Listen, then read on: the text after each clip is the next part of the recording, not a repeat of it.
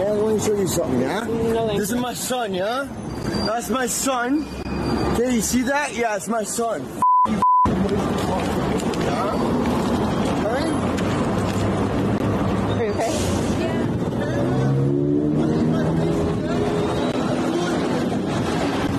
Sir, you cannot say that. You did in my face. I fucking you not. No, You did it in my you cannot say that, sir. huh? You did in my face again. It is not acceptable um, to threaten someone's life.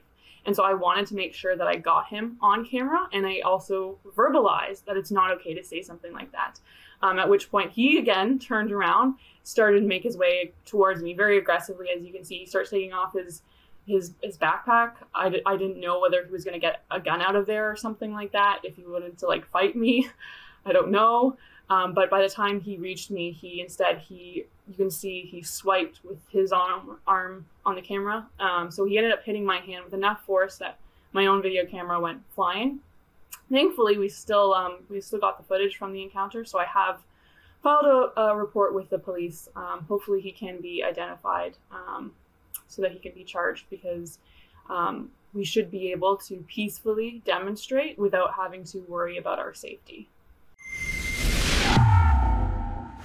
So the tolerant left, folks, the tolerant left that burns buildings in the name of Black Lives Matter, and the tolerant left that hits women who are uh, protesting for the rights of unborn babies in the name of women's rights. If somebody gets raped by somebody and they're like, I'm a 16 year old and I can't have this baby, think you should keep it? It's a baby. If someone is raped and she gave birth and she decided to kill her three-year-old child. Today I have with me Josie Luetke to describe a little bit more uh, what happened that day. Yeah, so I'm one of the youth coordinators at Campaign Life Coalition.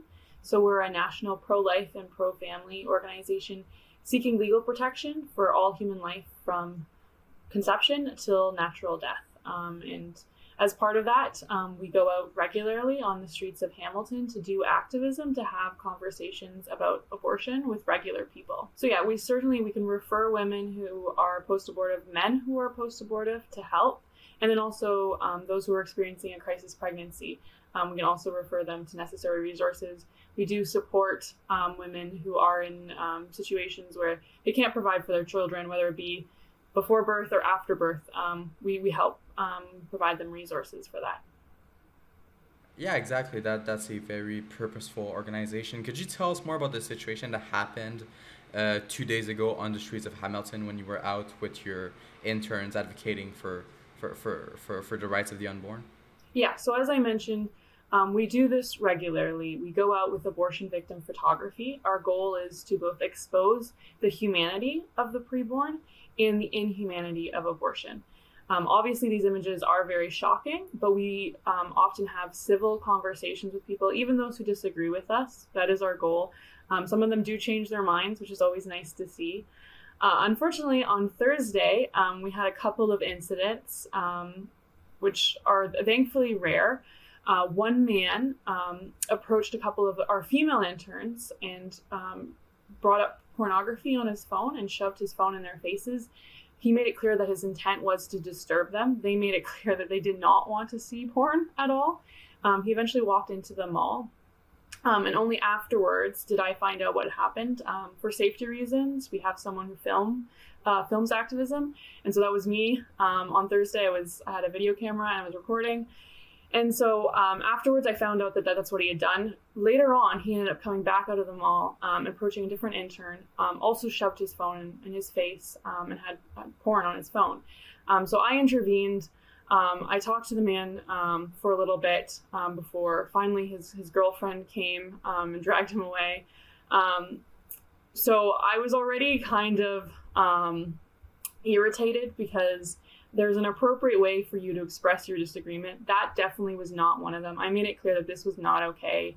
Um, he, he he can be upset, um, but it, what he was doing was was you know in, in my eyes that shouldn't be permitted um, to to show people pornography without their consent. Um, and he didn't care. He didn't care if he was transgressing the law or not. Um, so then when when activism was almost finished, um, a different man came and shoved his phone in my face, and I was thinking, again, really, is someone else going to try to show me porn this hour? Um, I don't think it was. Um, I didn't look, but he said something about like that's my son or my son, um, but I just said no, thank you. So that's when you can see in the video that he begins to walk away. Um, one of my interns wasn't feeling well just because of the sun or whatever, so I was walking over to her, to her already. I asked her how she was doing.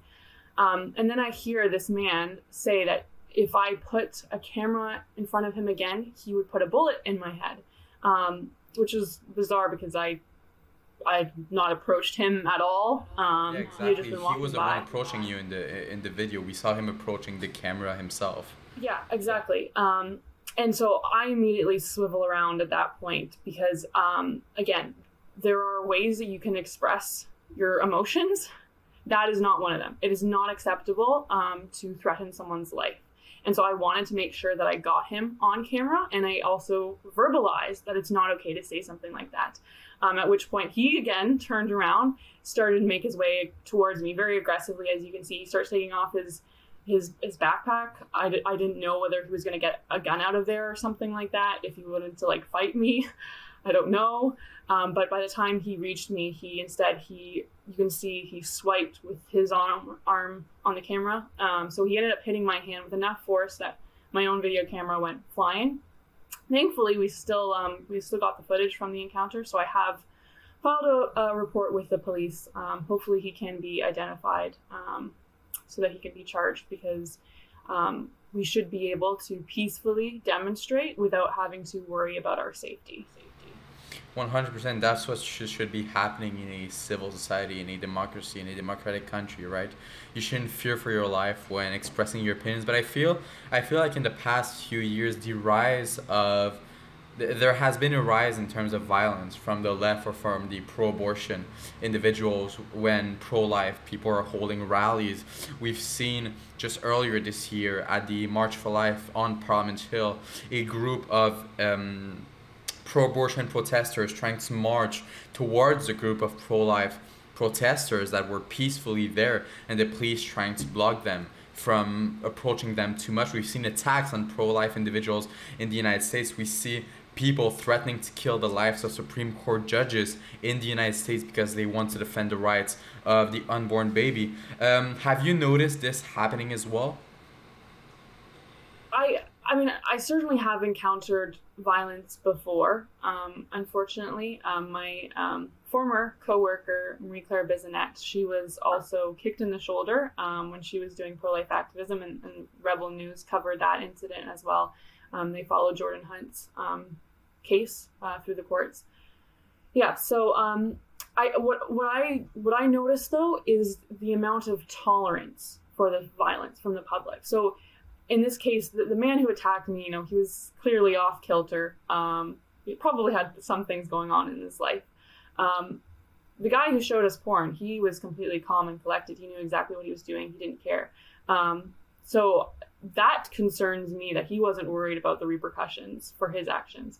And I am very disturbed by everyone in the comment sections who say that, you know, maybe violence is normally not acceptable, but because they were pro lifers, then it's okay. This is the exception. And that, that very, like, very much concerns me. And I've seen a rise in that, um, especially because of the news of uh, Roe v. Wade south of the border.